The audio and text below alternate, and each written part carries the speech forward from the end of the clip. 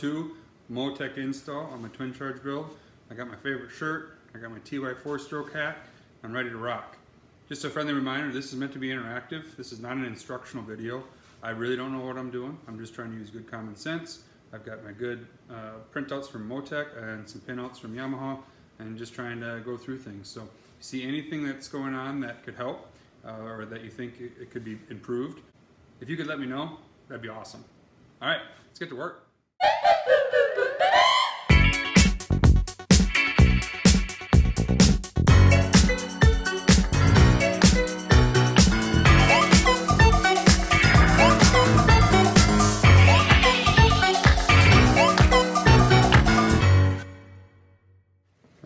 Hard to see here, but we're trying to get the ECU out through this little hole here. And there's just not enough room. I'm running into the sensor.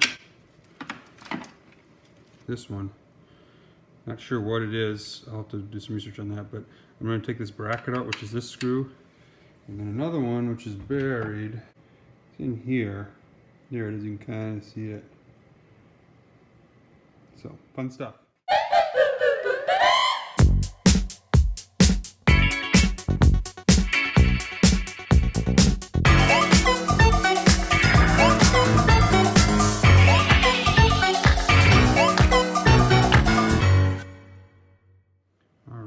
Got it out. That is the stock ECU. Now let's get the Motec plugged in. Look at that size difference. We're gonna try to fit that Motec in there in a cramped engine bay already with a supercharger. Go twin charge, they said. It'll be fun, they said. All right. So I'm trying to decipher, sorry, trying to decipher what the previous owner did. I believe he pulled, this is a plug and play harness for Yamaha Apex, but I believe that there were some issues making sure that the system had enough voltage.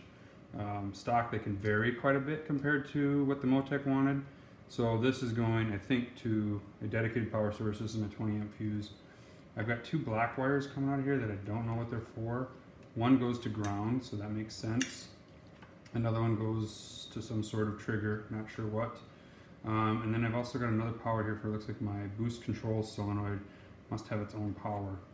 Uh, so I think, and then I've got this white wire. Anybody has any idea what this white wire is? This would be great. I'm not sure if this is my CAN bus tap or something else. Um, it was obviously installed and cut and no idea what it is. I'm gonna trace the pin back. Looks like it's on this bigger connector. Second one down on this side. So try to figure that out. And then just trying to figure out how to cram this in here. This is really, really tight. Tighter than I expected. And it's a lot of wiring. I got a fuel pressure regulator to install. All these modules need to be secured um, and not clanging around and stuff.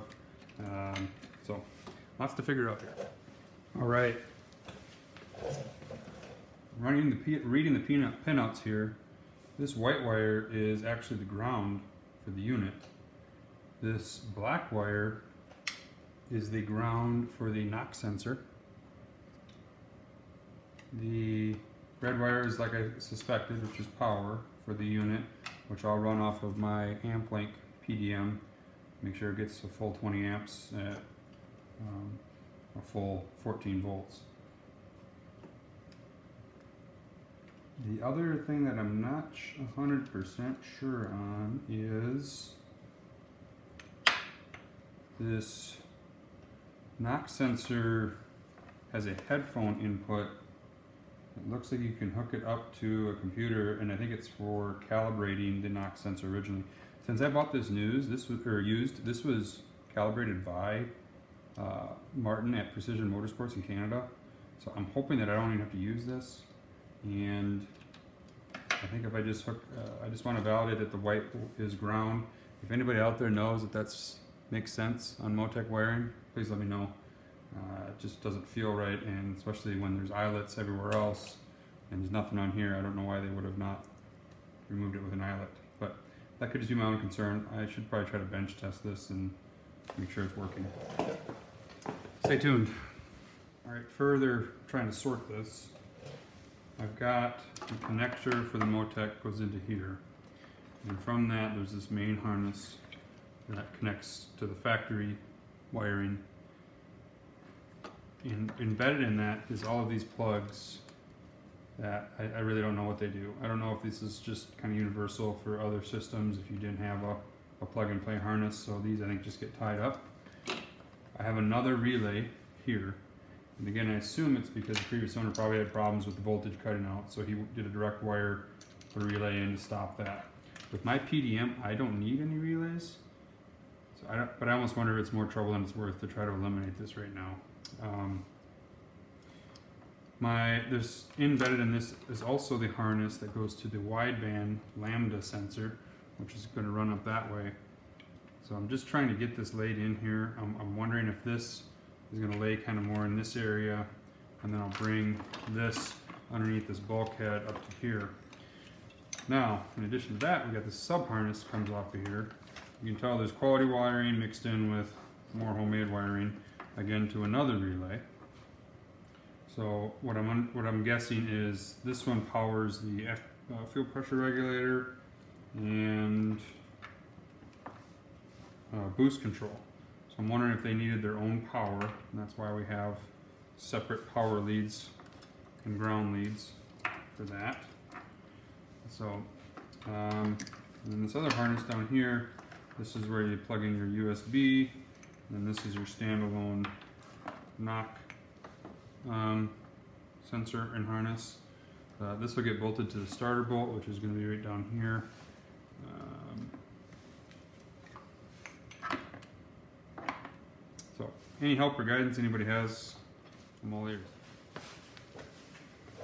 All right, I think it's sorted. I've got this harness here, I've traced the pins back. Um, the white wire is in fact a ground. This is in fact a direct power to the Motec unit that works off of a relay. The key acts as a uh, switch input for the relay. The sub harness here has another relay on it and I believe that is what's powering or it needs to power the boost control solenoid. And there's a red wire here.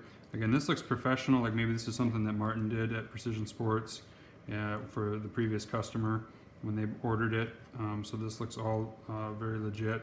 It the relay looks like maybe something you know maybe added to the fact afterwards. So maybe they were running again into voltage issues power in this I do know that the previous owner tried to use closed loop boost control and then ended up abandoning it and going to open loop um, I was hoping not to do that. I don't know if voltage was the cause or something else. Um, but I think I'm at the point where I'm going to try to plug this in, just lay it on top here, and just see if I can get the dash power up and just see um, well, what other issues we might run into. All right. A bit nervous if I'm not lying to anybody. I've got the Motec connected here. Um, I've got power and ground that I can feel like I've established. Uh, I got the, the hot there and the negative there. I've temporarily got it plugged into, or I have plugged into the, the harness there. Um, theoretically, everything is hot. I've got my key set up here and the dash is plugged in. Moment of truth.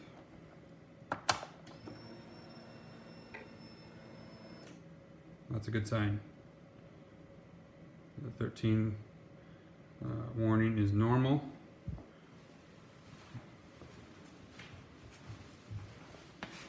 I'm going to attempt to open the ECU for the first time. Look at that, it connected.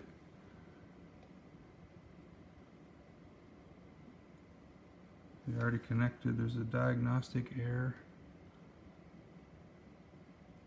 Open ECU. ECU data does not match a file. New file be created. Okay. Let's save this.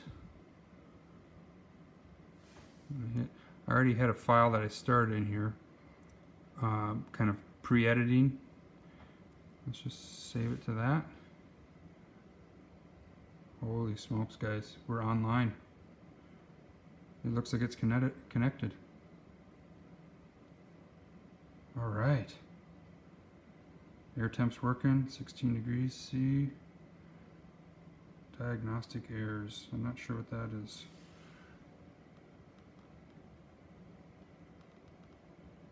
I don't know how to get those arrow keys up, keys down. But guys, I think it's connected. No shorts, no flames. All right. Let's see if I can dial things in here with the Motec on the computer here. I'll be right back. All right, guys. Look, I'm hot. I, I clicked on this uh, view sensors icon up here and it pulled up this window. And look, everything is live in here. I'm going to press on the throttle position sensor, which is right there where my arrow is pointing. And look at this. Wide open. It's working. Everything is, is, is hot right on key start. This is great. My diagnostic errors that I had below shows exhaust uh, manifold pressure um, because my map sensor is unplugged right now. How cool is that? And barometric pressure. So I assume I got that unplugged somewhere. I don't know what this one is over here. We'll figure that out later. Fuel, look at this. It's actually adjusting the fuel trims and pulse widths. So my fuel injectors are hot. Ignition advance. Everything here, this was moving earlier, this is hot.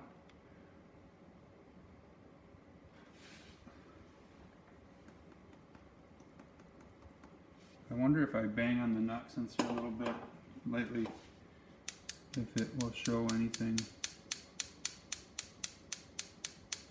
Not yet, I'm not sure. I don't want to wreck anything here. So I'll, I'll figure that out. Um, boost, I wonder if that solenoid, if I got that hooked up right. Boost aim, so this isn't even control. He had this all zeroed out. So I figured out when I said I edited the, the file earlier, um, I actually, it opened the file that's on the Motec right now. So I'm reading the previous owner's Motec for the first time. And, which would be great because you can do a compare feature similar to HP tuners. So I'll be able to look at what is different. His was a turbocharged setup, uh, very similar to mine. Um, let's see, look at all this stuff here um, internal power supplies, I think some 8 volt engine supplies supplying 8 volts. There's a, there, I, I, did see that on one of the wiring diagrams. There, a lot of the sensors are 8 volts on here. Looks like that's working great. Uh, dB. I'll drive a wire up. I want to use any of that. Uh, GPS. I might try to link in my GPS from my um, Raspberry Pi dash. I do have GPS and a sensor on there for my speed. And I might try to link that in here, and someday, if I get really creative, try to figure out a way to do traction control versus referencing the track speed, which has got a sensor that already works here. Uh, and I can use it compared to GPS speed and maybe kick in some uh, fuel cut or something to try to get some traction. But anyway, guys, this is great news. It looks like I am completely um, hot right now. Um, if I close this window out, you can see my battery voltage is working here. Um, my temperature is flickering right here a little bit, 16.8. It's about the exact temperature of my shop. It's 58 degrees right now, so that's pretty dang close. Um, and this is awesome. This is what I wanted. I, basically, this tells me everything is set to go. I just need to get it plumbed into the sled, and I can start playing. Woohoo! Thanks. All right, I know I'm a little excited, but I just kind of been playing around in here and I found some more tables. This is actually my fuel table, and look how cool this is. This is very similar to what I'm used to tuning with HP tuners. Um, this is your fuel map, RPM against throttle position sensor, and then it gives you the, the nice 3D view. You can really see what's going on um, as you are at different levels. This is just fantastic. Um, also got um, my um, my timing tables. This is awesome. I um, did a compare against a naturally aspirated file way before this, and I found that the timing retard is actually um, only two degrees off of stock, which I thought was um, higher than I was expecting. I, I was thinking we were going to cut uh, 10 to 10 degrees of timing or more, but um, only cutting two.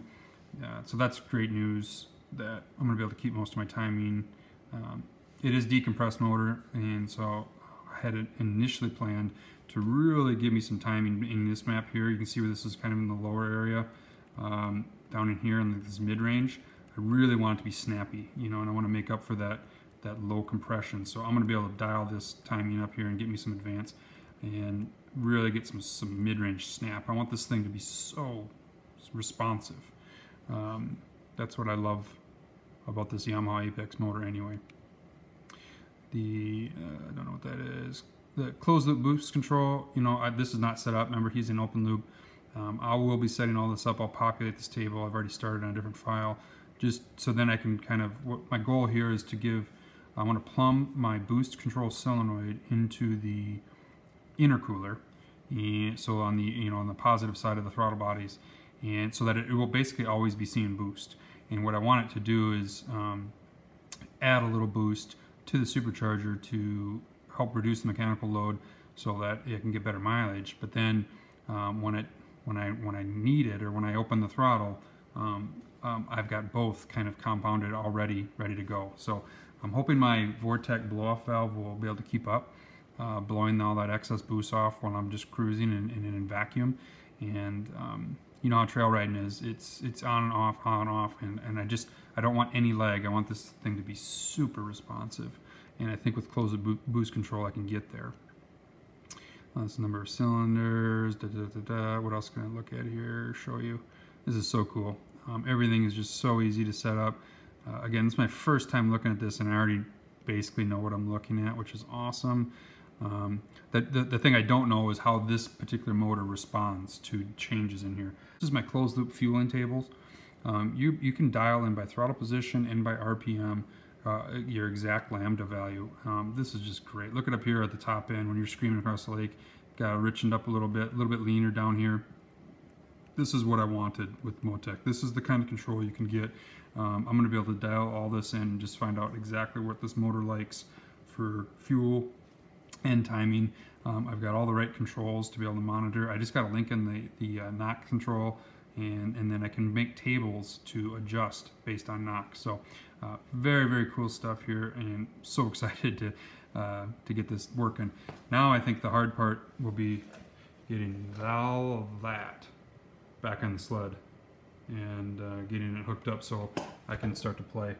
I might uh, take this thing for a rip just supercharged um, just to make sure everything's working good and get some data logs because this is really, really cool, guys. Thanks.